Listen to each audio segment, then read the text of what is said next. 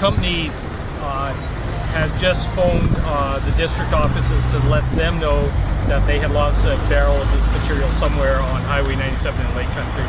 The hazmat team has tested the material and confirmed that's what the product is, so there's no hazard here. Uh, they will be responsible for coming back to clean up the material and likely uh, bill for the uh, hazmat crew or the fire crew to come out here and respond. They should have stayed here on scene and called 911.